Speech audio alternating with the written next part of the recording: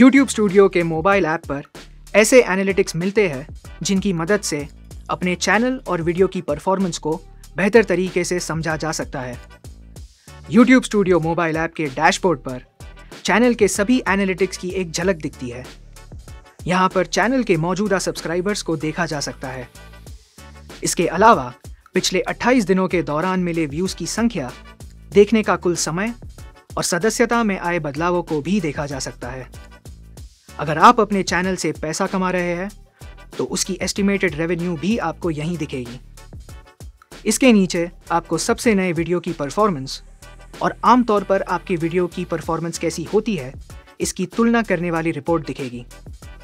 नए वीडियो के व्यूज़ की संख्या क्लिक थ्रू रेट और देखने में बिताए गए एवरेज समय की तुलना आपके वीडियो के आमतौर पर जो परफॉर्मेंस रहती है, उसके साथ करके दिखाई जाएगी। एनालिटिक्स पेज पर आपको अपने चैनल और वीडियो की परफॉर्मेंस से जुड़ी ज़्यादा जानकारी दिखती है। ये जानकारी आपके पूरे चैनल और हर वीडियो के हिसाब से दी जाती है।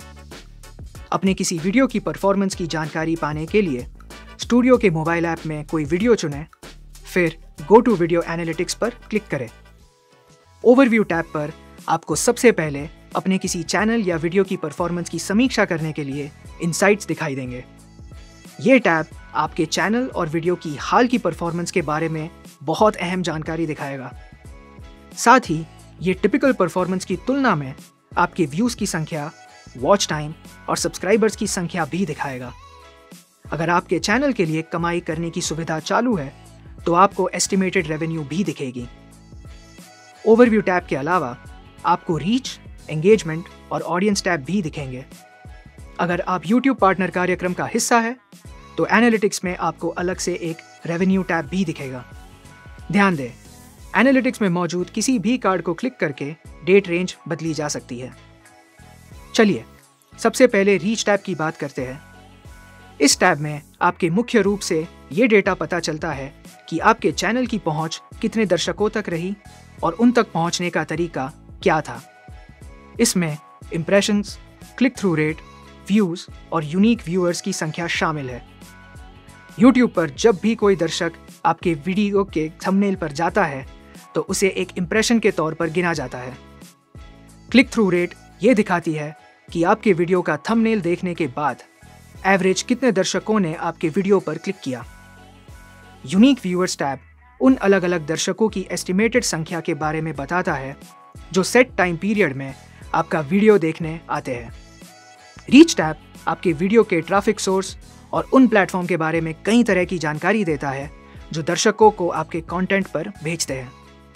अगला है एंगेजमेंट टैब इसमें व्यूअर अटेंशन से जुड़ी जानकारी दिखती है, जैसे कि watch time average view duration और प्लेलिस्ट्स एवरेज व्यू ड्यूरेशन से पता चलता है कि किसी वीडियो को एस्टिमेटेड कितनी देर तक देखा गया है।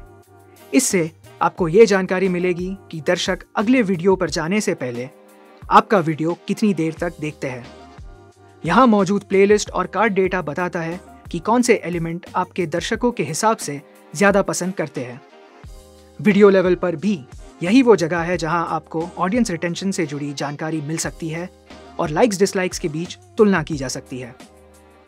चलिए, अब ऑडियंस टैब के बारे में जानते हैं। इसका इस्तेमाल वीडियो देखने वाले दर्शकों के बारे में ज़्यादा जानकारी पाने के लिए किया जा सकता है। इस टैब में आपको चैनल पर returning and new viewers, unique viewers और सब्सक्राइबर्स के बारे में अलग अलग जानकारी मिलती है। अगर आपके पास चैनल मेंबरशिप्स है तो आपको पिछले 28 दिन में सब्सक्राइबर्स की संख्या में हुए बदलाव की जानकारी भी दिखेगी। ये डेटा भी देखा जा सकता है कि आपके दर्शक यूट्यूब पर कब कब आते हैं। इन सभी मैट्रिक्स की मदद से दर्शकों की संख्या के अलावा इस बात का भी अंदाज़ा लगाया जा सकता है कि आपके चैनल में उनकी कितनी दिलचस्पी है। ये टैब आपका चैनल देखने वाले दर्शकों के बारे में भी जानकारी देता है, जैसे कि उनके जेंडर, एज ग्रुप, लोकेशन और वे कौन सी भाषा बोलते हैं। हम आपको उन वीडियो और चैनल दिखाएँगे, जिन्हें आपके दर्शक देखते हैं। और आखिर में, अगर आप YouTube पार्टनर कार्यक्रम में शामिल है तो आपको एनालिटिक्स के अंदर एडिशनल रेवेन्यू टैब भी दिखेगा। यहाँ आय के डेटा की समीक्षा की जा सकती है, जैसे कि एस्टिमेटेड रेवेन्यू आरपीएम और प्लेबैक बेस्ड सीपीएम आपको महीने की अपनी estimated revenue top earning videos और आपकी रेवेन्यू सोर्सेज का ब्रेकडाउन दिखेगा। साथ ही top ad types transaction revenue और सीपीएम के हिसाब से सबसे अच्छा प्रदर्शन करने वाले देश इलाके भी दिखेंगे। इन सभी डेटा से आपको ये समझने में मदद मिलेगी कि आपके चैनल और वीडियो की परफॉर्मेंस पर किन बातों का असर होता है। इससे आपके कंटेंट स्ट्रैटेजी को बेहतर बनाने में मदद मिलेगी। नीचे दिए गए सहायता केंद्र के आर्टिकल्स के लिंक पर जाएँ। वीडियो देखने के लिए धन्यवाद।